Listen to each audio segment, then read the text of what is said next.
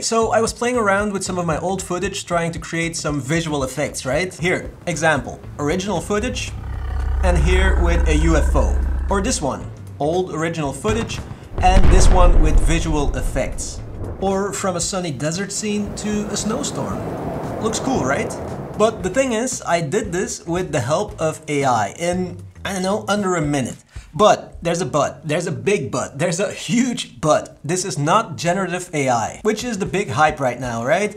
But it has this negativity surrounding it, which I kind of get, but this is something different. This is I guess you could call it manipulative AI, which doesn't sound very positive either. But anyway, so you have your own original assets and existing footage, and then you have AI to enhance it, improve it, to add stuff, remove stuff, combine them just like you would do in Fusion, for example, or After Effects, but a lot faster and without limits. So AI basically does all the heavy lifting for you. And that, in my opinion, is the future for video editing, filmmaking, visual effects. And this new AI model, Runway Aleph, that I've been experimenting with, not sponsored by the way, well, it can do so much more. It's insane. So let me show you some of the DaVinci Resolve effects that I've done tutorials on and then how it would look with the help of AI, Runway Aleph.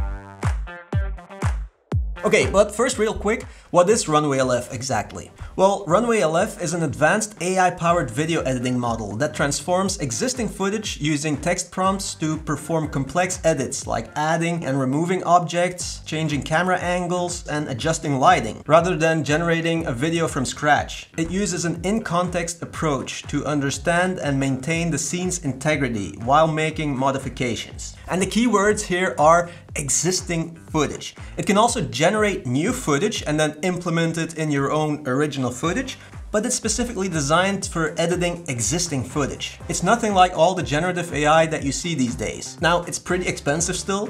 I bought the unlimited plan for a month so I could try it out and show you, of course. It's also still limited to 5 second clips and low resolution, but it's already pretty amazing. Let me just show you. First, something simple. Well, not so simple actually. I mean, the idea is simple, but like executing it, doing it is not so simple. Removing an object in a video. In a photo, sure, but in a video? Every time I tried it in DaVinci Resolve, it was difficult, even the simple things. And there's definitely limits to my object or person removal skills in DaVinci Resolve. But with the help of AI, holy crap. Example, let's remove that person. Simple text prompt, remove the person and then a minute later, boom. Now, I think in this particular example, I would be able to get a decent result in DaVinci Resolve, I think. But what about this one? What about this van? Well, again, simple text prompt and boom. That's crazy. This is something I wouldn't be able to do in DaVinci Resolve. One simple text prompt and gone. And here's an even more difficult example. Remove the car and the people. And this is the result. The difficult part here is of course the guy on the scooter that goes behind the car. Now the result here I mean, it's not perfect yet. You can see that, you know, it's a bit wonky, but it's still a lot better than what I would be able to achieve in DaVinci Resolve. Okay, so that was removing objects. Now let me show you something more spectacular. So a few years ago, I made a video on how you can create an explosion in a video, how you can add an explosion to a video. Now, the adding the explosion part is not that difficult, but the camera movement, that's the problem. But the result, it looks decent, right? Maybe not super duper realistic, but decent. Well, here's the AI version. So same clip, without explosion, text prompt, add an explosion in the background, and boom, literally. And here's the example with my own original footage. So without explosion and boom.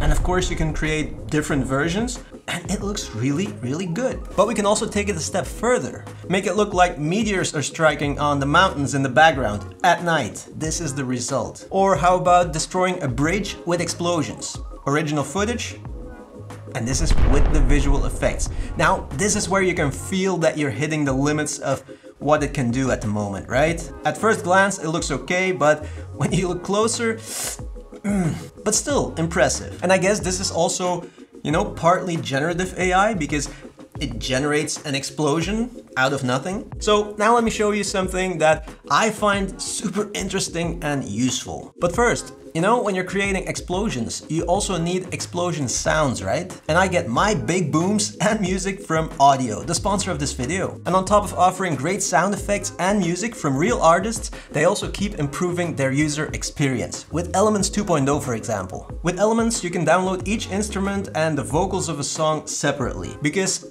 you know, sometimes less is more. And with elements, you decide. Maybe you just want the vocals or just the guitars of a song. Or maybe you need the strings which is a new stem that they've added. Perfect for your big cinematic videos. And everything is powered by AudioShake, so you get crisp studio quality separation every time. And Elements 2.0 is included in the Audiio Pro plan, which is 70% off for the first year if you use my link and code in the description. So go check them out. And of course, thank you so much Audiio for supporting my channel. Okay, and now back to the visual effects. Runway Aleph also allows you to add an object from an image to a video and make it look realistic. Maybe you remember my tutorial on how to create your own UFO sighting footage. So I used an image of a UFO and then in DaVinci Resolve Fusion, I added that to a video and it looked super cool. But again, there are limits to what I can do in DaVinci Resolve Fusion. So let's take a look at what it looks like when AI helps me. This is a clip I shot a while back for, I don't know, I was testing a lens or something I think. And then I found this image of a UFO and I asked AI, Runway Aleph, to add it realistically in the video and also to create some lighting effects. And this is the result. And what I find impressive is the plants there in the foreground. See how the light affects the way they look? Like the light is shining through? And so this, in my opinion, is the future for video editing and visual effects. So you have your own original design of something and you use AI to implement it, to add it to your video or movie. Now, not like this, of course, because it's baked in the video right now. You know, you can't fine tune it, you can't tweak it. What you see is what you get, that's it. But imagine that, you know, in Fusion there's AI nodes for this. So you can do exactly this in Fusion, in a node. And then with a text prompt, you just ask AI what you want, let AI do its thing, and then once AI is done, you can still manually tweak it, fine tune it, improve it, because it's layered on top of your high-res 4K footage or whatever, instead of being baked in the footage. Now, maybe I'm imagining it a bit too simplistically, maybe that's not even possible, but something like that. But anyway, look, you can also ask Runway Aleph to generate something without giving it a photo. For example, add a rowboat. And I mean, it looks great, right?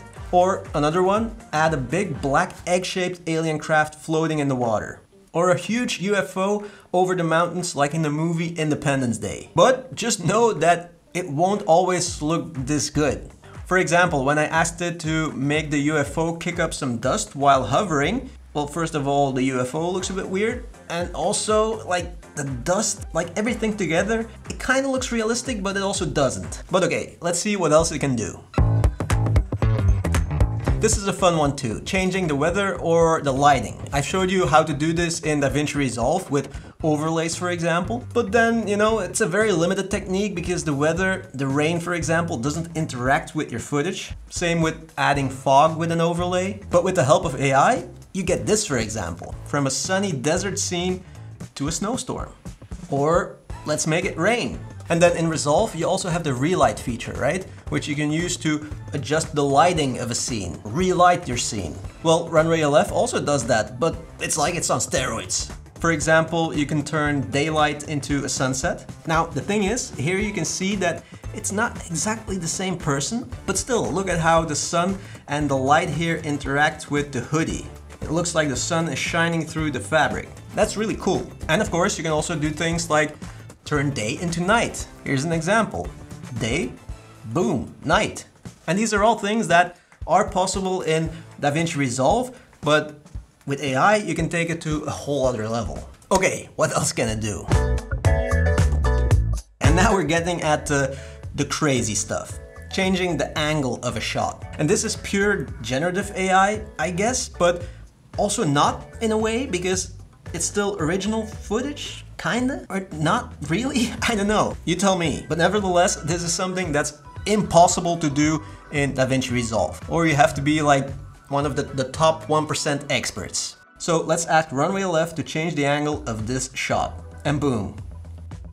Now look, when you try this and you know the person in the shot, you can see that it's not exactly the same person. But if you don't know that person, and if the person is talking, for example, it's also still too difficult for Aleph.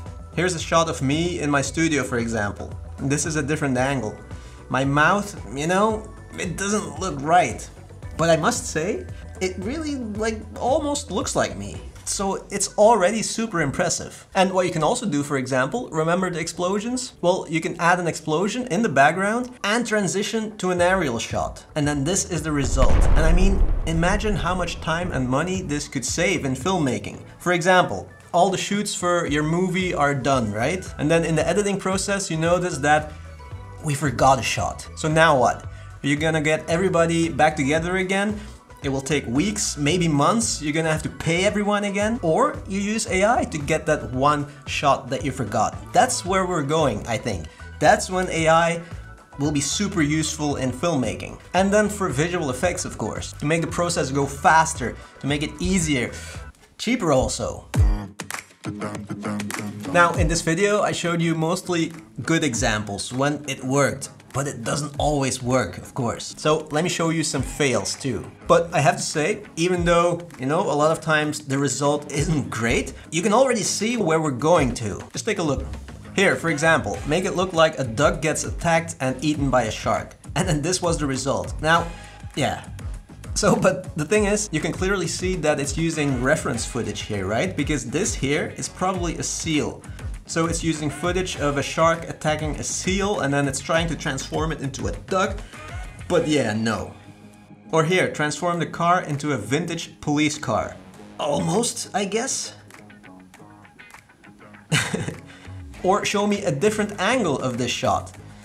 I mean, not horrible, but definitely not usable yet. And yeah, you know, DaVinci Resolve already has a bunch of AI features. A lot of them are super useful and you all love them. So I guess this Runway Aleph, yeah, something like that is gonna be the next step. But what do you think? Have you tried it? Maybe another model? This is the only one that does this specifically that I could find. Maybe there's something else. Let me know in the comments. Let me know what you think about this whole manipulative AI. Let me know what you think. Thank you so much for watching and see you in the next one.